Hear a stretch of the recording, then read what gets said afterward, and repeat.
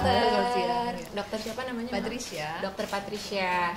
Sekarang dia mau perawatan. Nah perempuan itu emang harus merawat diri. Tapi kira-kira uh, saya mau perawatan ini nih badan sebenarnya di dalam-dalam nih hmm, dokter. boleh boleh. Kamu mau apa? Misalnya kita di sini ada treatment untuk selulit. Nah, iya. Nah, biasanya kan aku pengen ngilangin ya. selulit. Nah, mungkin orang nggak percaya kalau aku ada selulit, tapi Anak jujur aja gitu langsung ya. tapi jujur aja eh, perempuan kurus belum tentu tidak berselulit ya kan dok. Betul, betul. Ceruk ya jelek banget kalau dilihat itu ya. gak enak kelihatannya gitu sebenarnya. Terus sama satu lagi baru pulang liburan dan aku dalam ke- pekerjaan sering panas-panasan. Memang sih dibilang gelap nggak juga, tapi kulitnya nggak rata. Kusam lah ya, Nggak kusam dan nggak rata warnanya. Jadi pengen whitening gitu Boleh bisa nanti bisa lah.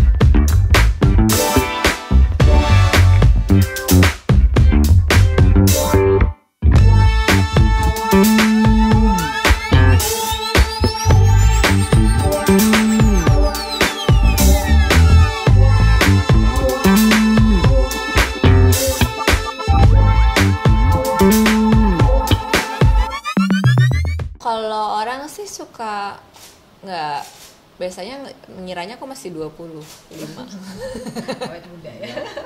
Tapi sebenarnya kalau diperhatiin sih udah kelihatan banget kepala tiga. Kalau diperhatiin dari deket, mungkin kelihatan 20 karena pembawaan aja kali ya. Aku masih pembawaannya masih suka kayak anak-anak gitu. Masih kalau nongkrong sama anak 20 something tuh masih nyambung gitu loh. Terus kalau nongkrong sama yang seumuran aku pun suka dikira adiknya gitu. Jadi mungkin karena itu karena pembawaan sih sebenarnya. Tapi actually I'm not aku nggak semudah itu kok. Kalau hilaf tadi yang dibilang lemak-lemak, iya, aku suka banget makan lemak-lemak. Em, bukan gorengan, justru malah kayak yang kambing, soto yang begitu-begitu tuh, yang bersantan Heavy. tuh, sometimes itu kehilafan saya. Tapi kalau goreng-gorengan yang pinggir jalan, bukan pinggir jalan ya, maksudnya kayak eh, goreng-gorengan yang minyak-minyak atau cemilan-cemilan malah jarang. Buah malah banyak, tapi yang hilaf ya itu eh, yang agak berat. seneng yang ada lemak-lemaknya itu malah orang nggak mau aku aku yang ambil